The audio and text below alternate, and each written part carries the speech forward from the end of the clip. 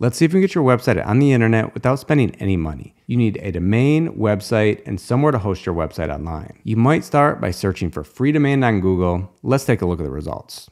Top10.com, claim your free domain. Free domains for life. This looks promising. Most popular option, GoDaddy. Here at GoDaddy, I don't see anything about free. Let's search for a domain though. The domain is available and I can get it for a penny. Down below though, you'll see this is a three-year term. At checkout, you'll see you have to pay $43.99. That's $21.99 that we saw crossed out earlier on for year two and three, and a penny for the first year. Then it'll auto renew for $65.97 every three years. If we change the term from three years to one year, you'll see you can get a domain for $11.99 for the first year then it'll renew for $21.99 per year. This is clearly not a free domain. Second option from top 10, Bluehost. You can see here free domain for the first year with hosting started at $1.99 per month, normally $9.99 a month. So again, we see free or a discount for the initial term for both the domain, free for the first year, and then pay for the second year and beyond, and hosting $1.99 per month, then that's gonna jump up to $9.99 a month. This is not a free domain.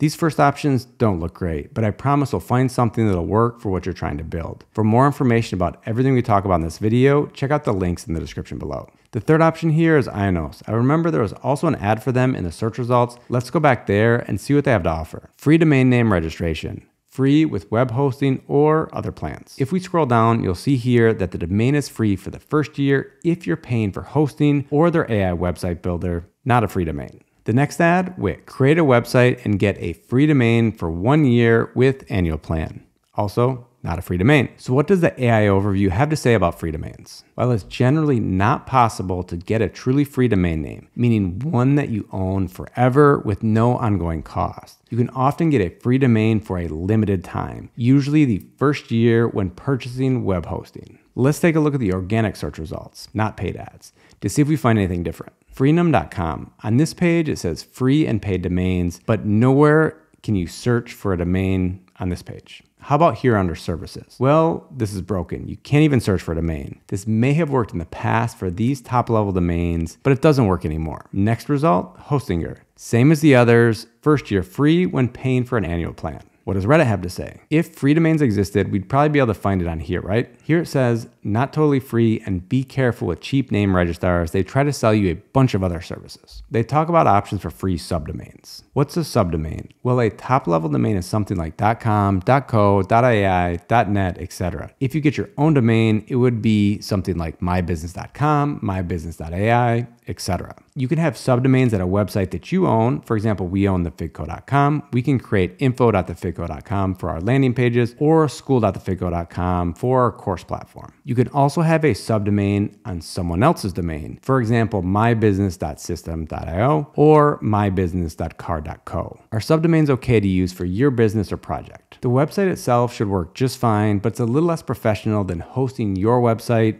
at your domain. If this is to show your portfolio, a school project, a one time event, creating a website using a free subdomain is totally fine. If you have a business that's selling things, I would normally recommend getting your own domain. Many website builders offer free subdomains with their free plans. They're not going to include 100% of the functionality that their paid plans include, but you can create a website and they'll host it for you. The one thing they want in return is they're gonna place an ad like this on your website. In some cases, you can even sell online using the free plan at a free subdomain. We recommend using website builders instead of WordPress or building a website with HTML and CSS, especially for beginners. They offer easy to use drag and drop website builders and host your website. No need to get additional hosting. A few options we like systeme.io, Carrd, Webflow, Google Sites, and Canva. Wix also offers a free plan, but the URL is going to be a little bit longer and there are storage and bandwidth limits. To learn about the best free website builders, check out the video in the description. If you're building an app,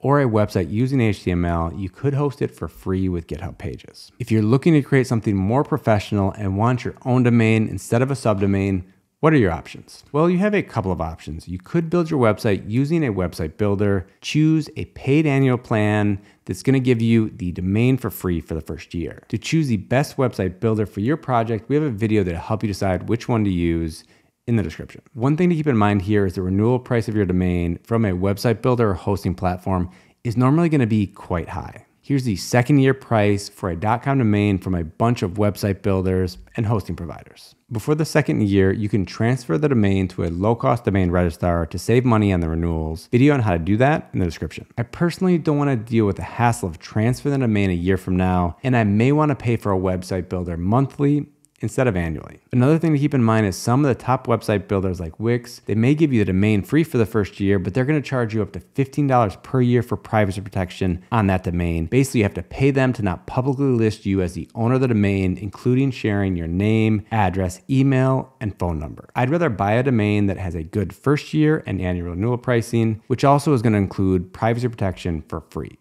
We have a video on the best domain registrars that you'll find down below, but to save you time, I'll just give you the answer here. Our favorite domain registrar is spaceship.com. You can get a .com domain for around $10 per year. They sometimes run promotions for the first year, but as you can see here, a .com domain will cost you for the renewal $9.98 plus 20 cents for the ICANN fee. This is less than half of what we saw earlier on for GoDaddy's .com renewals of $21.99 per year. I know you were hoping for something for free, but I would just purchase your domain from Spaceship and then take your time and choose the best website builder for the business you're creating and not have to deal with overpaying for your domain or having to transfer your domain a year from now to save money.